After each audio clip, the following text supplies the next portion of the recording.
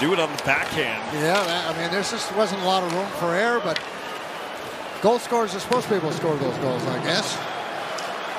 Well, he's done it for the eighth time this season. Barzal thinking about wrapping it in front. They score! Bo Horvat with two goals in 20 seconds. Well, there's some happy fans now, Brendan. Islanders have exploded in this third period. Expect play in that third period. And Barzal, Horvat, Horvat knows exactly what Barzal is going to do. He's got the stick down on the ice, throws it out there. No chance for, for, for the goaltender.